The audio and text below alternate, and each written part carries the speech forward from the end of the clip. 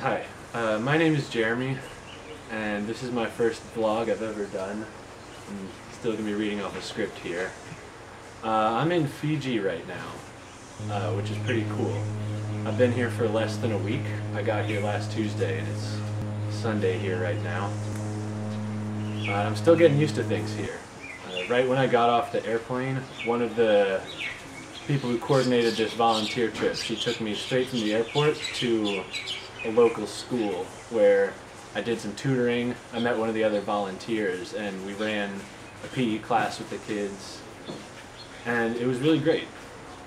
Um, and so the volunteer organization we're with is called Help International. We're staying in this house here near the town of Savusavu in Fiji.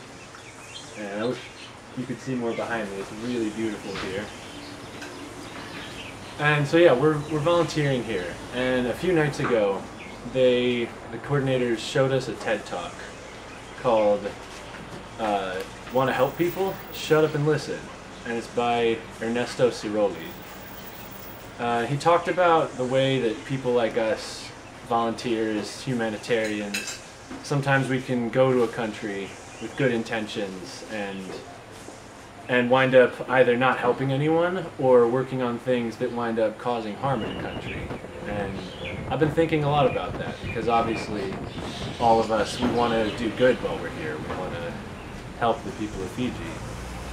And we want to have a long-term lasting benefit. And so far I've been here for five days. I don't really know how to accomplish that yet. But it's not like we're doing nothing. We've been going around to a lot of schools and tutoring kids. Some of us are helping local farmers and entrepreneurs grow their business. And that's good, but some of the things we're doing, like the tutoring, once we leave, I can imagine that things would just go back to normal and then the kids who struggle will still just keep struggling. And that's tough to think about because the the big question that I have on my mind, I think we all have on our minds probably, is just how can we help Fiji? And I don't have an answer for that yet because I'm just one guy and I've only been here for five days. But we've got a really good team of people here, really intelligent, compassionate people. And I'm confident we can figure something out.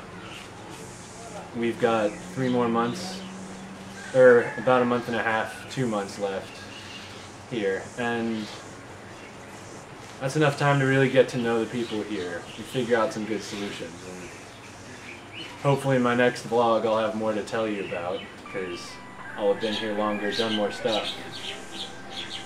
And I look forward to telling you more, because I'm excited about this trip, and I'm excited about working with all these people here, so that's it for today thank you for watching, and I hope you'll come back next time.